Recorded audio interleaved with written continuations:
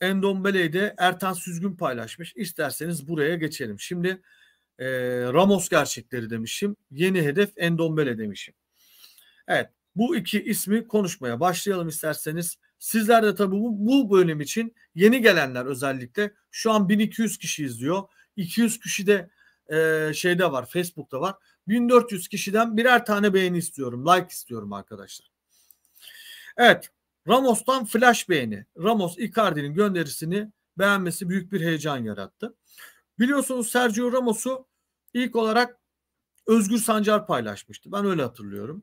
Özgür e, ayrıca hani uluslararası ilişkileri çok kuvvetli transferden bahsediyorum. Network'ü çok kuvvetli bir gazeteci. Benim de çok sevdiğim, değer verdiğim bir arkadaşım. Ee, Özgür'ü aradım. Sergio Ramos'la ilgili e, Galatasaray'ın transfer edeceğinde sanırım bir bilgim varmış. Hayır dedi. Ben Galatasaray Sergio Ramos'la ilgileniyor demedim. Sergio Ramos'u alırsa iyi olur dedim dedi. Şimdi Özgür Sancar bunu söylemiş arkadaşlar. Bana söylediği bu. Yani Sergio Ramos'a Galatasaray teklif yaptı demedi. Bana dediği şey Galatasaray alırsa e, ondan çok faydalanır. Hani bazı maçlarda ilk 11 oynar, bazen hamle oyuncusu olur.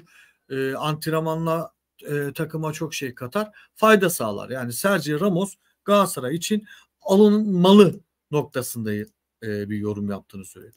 Ben tabii birkaç kişiye sordum Sergio Ramos'u. Ve net bir bilgi aldım bugün. Bu sabah aldım bilgi şu. Sergio Ramos Galatasaray'a gelmek istiyor. Menajeri tarafından da Galatasaray'a önerilmiş durumda. Juan Mata gibi bir artı bir opsiyonlu bir kontrat istiyor. Yani Galatasaray belirli bir maç adedi koyarak Sergio Ramos'u transfer edebilir. Oyuncunun menajeri Galatasaray önermiş. Hatta sadece Galatasaray değil Fenerbahçe ve Beşiktaş'a da önermiş. Ama ben alır mıydım? Ben almazdım. 37 yaşında bir oyuncuyu almazdım. Fakat şöyle bir yaklaşım var. Bizim işte zaten 3 tane stoperimiz var. Sergio Ramos gibi bir e, tecrübenin, bir kalitenin e, hem oyunculara çok şey katacağını, çok şey öğreteceğini hem de yeri geldiğinde sahaya atılabileceğini düşünüyorlar. Yani böyle bir fikir varmış. Ramos'u alalım, rotasyonda tutalım. Ee, bir aksaklık olduğunda çok rahat bir şekilde onu da oynatabiliriz. Ama şartlarında uygun olması gerekiyor. Benim duyduğum ise yıllık istediği para 3 milyon euro ve e, bir artı bir kontrat istiyor. Evet. Abi gençlere öğrettikleri yeter demiş Sergio Ramos için. Emir Bey sırf e, Sergio Ramos sırf e, network için bile alınır. Yani onun ilişki ağı, çevresi için bile Sergio Ramos e, Sergio Ramos transferi yapılabilir. Bunu da belirtmiş olalım. Nitro Felix daha hala genç e, potansiyeli var. Fenerbahçe bu kadar para verirse bir de tutarsa laflarınızı hatırlarsınız. Vallahi hatırlarız. Kumar deriz ama. Yani tutmama tutmaz asla olmaz demiyorum ki ben. Kumar diyorum. Nitro beni dikkatli dinler misin lütfen ya? Ben Sergio Ramos tutmaz. Sergio Ramos özür dilerim. Joao Felix tutmaz. Joao Felix kötü futbolcu mu diyorum. 30 milyonluk kumar oynayamazsın diyorum. Tutarsa pişman oluruz. Oluruz. Olabilir. Ama tutmazsa battın. Öldün. Tutmazsa öldün. 30 milyon euro çöp. Bir de oyuncuya da 7-8 vereceksin 3 yıllık. 60 milyon eurodan bahsediyorsun. Nitro. 60 milyon euro. 30 bon servis, 3 yıllık kontrat aşağı yukarı 10 da oyuncuya verirsin Icardi gibi 60 milyon euro. Tutarsa eyvallah çıkartırsın belki parasını. Tutmazsa tebrikler öldün. Bunu anlatıyorum dikkatli dinle beni. Hiçbir Türk takımının 30 milyon euro son 2-3 sezonu kayıp bir futbolcuya verme lüksü yok. İyi çıkarsa 50 olur. Olabilir. Ama çıkmazsa öldün. Bittin yani. Battın. Melih 27 Ramos'a gerek yok. 37 yaşında daha gençlere gitmesi lazım. Ya ben Ramos'u e, açıkçası kendi adıma çok elzem görmüyorum. Menajeri Galatasaray önermiş. Şu an değerlendirilme aşamasında e, Okan Hoca isterse bu transfer gerçekleşir. Ama Victor Nelson'ın yerine düşünülen Victor Nelson'ı satıp oraya Ramos'u koyalım falan gibi bir düşünce yok. Onu da bilmenizi isterim. Rotasyona düşünülüyor. Victor Nelson satılırsa Davinson Sanchez gelir. Evet. Felix dediğimiz adam bir zamanlar geleceğin Ronaldo'su diye ismi geçiyordu. Bana göre zarar etmez. En kötü aldığın fiyata satabilirsin. Hem hala genç. Ee, peki Atletico niye satamıyor aldığı fiyata? Yani Atletico Madrid Joao Felix'i en kötü aldığı fiyata satarsın diyorsun ya satamıyor. 30'a da satamıyor. Joao Felix'e şu an kimse 30 vermiyor. 10 verir ama herkes 10 verir. 15 verir. Ama 20 yok Joao Felix'te. 30 yok. Verirse Fener verecek işte. Şu an Joao Felix'i 10'a satarsın. 15'e satarsın ama 20 30'a satamazsın. Ben transfer piyasasına sadece bir kanaldan değil 4-5 farklı kanaldan transfer piyasasını takip ediyorum. Joao Felix'e şu an kimse 30 milyon euro vermez Ali Koç dışında. Ali Koç da niye verir? Galatasaray'a transfer çalımı olsun diye. Peki bu bir kumar mıdır? Bu bir zar atmak mıdır? Zar atmaktır arkadaşlar. Biz kumar oynamıyoruz, zar atmıyoruz. Galatasaray zar atmıyor. Galatasaray Icardi'ye 10 milyon euro verdi. Çünkü geçen sene Galatasaray şampiyon yaptı. Çok inanıyor Galatasaray. Joao Felix'in son iki sezonuna bakın. Ne yapmış? Galatasaray kumar oynamıyor. Göle yoğurt mayalamak gibi bir şey Felix olayı. Ben size doğru yaklaşımı e, sergiliyorum. Ha 5 milyon euroya kiralar Fenerbahçe helal olsun derim. 10 milyon euroya hatta 15 milyon euroya satın alır helal olsun derim. Bakın alkışlarım Ali Koç'u. Ali Koç derim çok büyük bir iş, iş başardı. 15'e alırsa veya 5'e kiralarsa. Ama 30'a alırsa Allah sonuna hayır etsin abi. Ben yeterince açık konuştuğumu ve e, detaylı konuştuğumu düşünüyorum ama bazı arkadaşlar e, söylediklerimi anlamak istemiyorlar. E, Soner Gürbüz, Sayın abi abim senin anlamadığın, karıştırdığın bize kumar olan Ali Koç'a olmaz ki adam kendi cebinden verir. Ha, o da yani 15 milyon euro sonuç itibariyle e, kendi cebinden finanse edecek. 15'i Fener'e gelir. Muhtemelen şöyle olur. Fenerbahçe kendisi Fenerbahçe'nin kasasından 15 çıkar. Ali Koç'un kasasından da 15 çıkar. Yani bu da kumar abi. Bu da kumar yani. Correa ile ilgili bilgim yok sevgili kardeşim. Bu da kumar yani. Draxler'i bize önerdiler istemedik Mete. Kesinlikle e, kesinlikle istemedik Draxler'i. Draxler, Eden Hazar ve James Rodriguez, Isco hatta Cavani. Bunlar Galatasaray'a önerildiler. Julian Draxler, Eden Hazard, Cavani, Isco. Bu dört tane bir zamanların büyük futbolcuları ki Cavani yaşlandığı için düştü. Ama diğerleri, diğer üçü yıldız futbolcular. Hatta böyle Ronaldo Ronaldo'lara bir ara zorlamış futbolcular. Ama şu an gündemde değiller. Çünkü çok kötüler. Galatasaray Tanguy Endembele için Tottenham'a yaptığı teklifini revize etti. Galatasaray 8 milyon euro rakamını biraz daha arttırıp ödeme planı içinde yıl sayısını düşürdü. Ertan Süzgün. Evet burada da paylaşılmış zaten. Tanguy Endombele için yeni bir hamle geldi diye. Şimdi arkadaşlar Endombele'yi zaten biliyoruz. Geçen sezon istedik alamadık. Bu sezon alabilir miyiz? Bu sezonda şöyle bir zorluğumuz var e, Endombele ile ilgili. Bu adamı 2-3 tane kulüp takip ediyor. Bir de bu adamın asıl problemi bon servisi değil.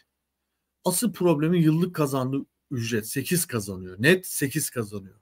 Şimdi net 8 kazanan bir futbolcunun biz bon servisine 8-9 versek oyuncunun kendisine 8-9 veremeyiz. Bizim aslında buradaki olayımız şu.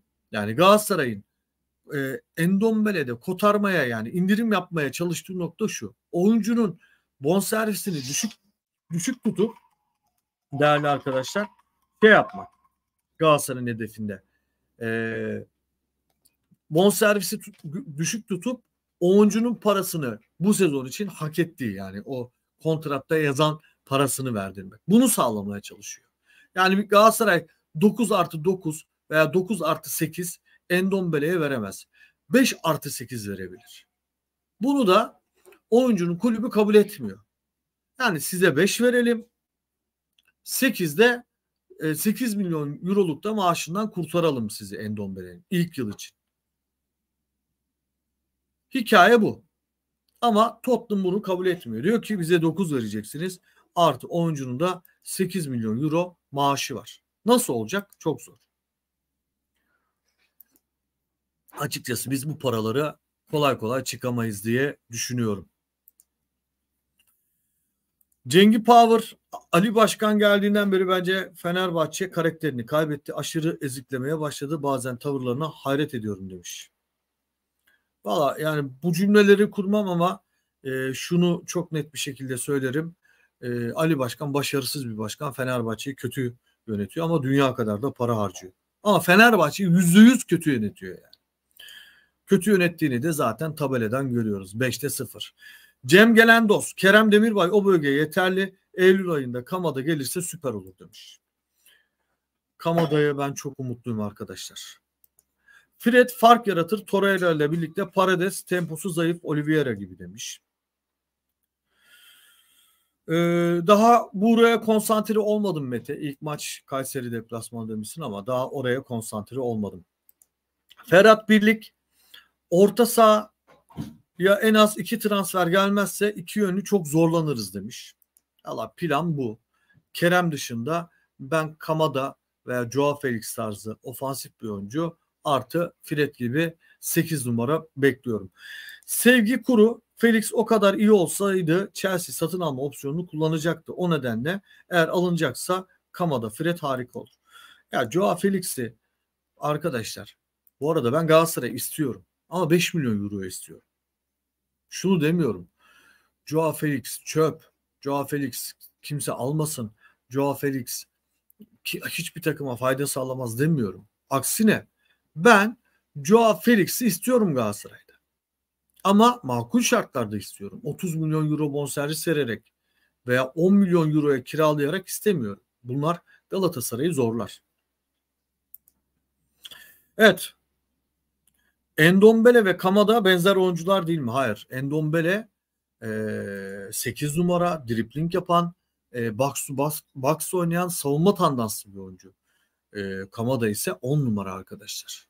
Tam bir lider. Hem oyunu yönetiyor, topa yön veriyor, hem skorer, çok fazla gol atabilen, hem de takımı oynatan bir oyuncu. Savunmaya yardımı da var. Koşan bir 10 numara. Gezen 10 numara. Gezen 8 diye bir şey var ya. Bu da gezen 10 numara. Evet. Tayfun 41-41, Kerem Demirbay, Oliveira 2 olur hiç gerek yok. Salih Özcan, Emrecan gibilerine gidilmeli demişsin. Emrecan mümkün değil. Çok büyük bir e, fiyatı var. Abi Torreira'nın yanına en, e, sen en çok kimi daha yakın görüyorsun? Fred, Parades veya başkası. Valla Fred'i yakın görüyorum. Şöyle Fred'i ikna ettik çünkü. Ama Manchester United'ı ikna edemedik. O yüzden Fred'i yakın görüyorum. Endombele'deki durumu anlattım size. Oyuncuya doku, oyuncunun bonservisine 9-10 verdin aldın. Ama 8 de e, Endombele'ye vermen lazım. O paraya çıkamayız biz. Yani 18 lira totalde biz 8 numaraya veremeyiz. Ama 8 artı 5 olur. Yani nedir o? 5 milyon euro bonservis ödersin Tottenham'a. 8 de şeye verirsin. Endombele'ye verirsin. 1 yıllık. 8 artı 5 olur. Diğeri olmaz. Evet. Eyüp abi Beşiktaş'ta para yok. Chamberlain aldılar. Ee, anlamış değilim demiş. Valla Beşiktaş'ta para yok derken hiç paraları da yok değil yani sonuç itibariyle var. Taraftardan da baskı yiyorlar. O yüzden e, hamle yapmak zorundalar yani. Öyle düşün bir de yani. Naim Kara, Ali Koç'un Fener'i yönetmesinden memnunum. Bizim işimize geliyor. Fener'i batırmaya doğru ilerliyor demiş. Uğur Tufan, Eyüp abi ilk sorun Bayernli Gravenberch. Bilgin var mı? Var ama mümkün değil. Bu adam e, Liverpool'u reddetti. Bize gelebilecek noktada değil. E, onun için isim belli mi? Ya da sürpriz biri var mı demişsin. Üç tane on numarayla görüşüyoruz. Daha doğrusu takipteyiz. Kamada, Felix ve Talişka bunlardan hangisinin şartı şartları Galatasaray'a uygun olursa Galatasaray o noktada transferini yapacak. Transfer yapmayı planlıyor. Benim duyduğum, benim öğrendiğim bu değerli dostlar. An itibariyle de 46 bin aboneyi geçmişiz. Teşekkürlerimi iletiyorum. Sağ olun, var olun. Şimdi ne yapalım değerli dostlar? TikTok'a geçelim. TikTok'ta 2 dakika sonra güzel bir sohbet yapalım. Siz de soluklanın. Ben de soluklanayım. Tam 2 dakika sonra TikTok'ta buluşalım. TikTok adresimi de şurada ekrana getireyim de değerli arkadaşlar. Neredeydi ya? Heh. Evet. Eyüp Yıldız TikTok adresinde 2 dakika sonra sohbete başlayacağım. Hepinizi bekliyorum. Oradan da belki canlı sohbete de alırım sizleri bir kısmınıza. Sohbetimizi gerçekleştiririz. Hepinizi çok seviyorum. Ee, yayından çıkmadan beğenmeyi unutmayın. TikTok'a gelmeyi de unutmayın. TikTok'ta buluşalım.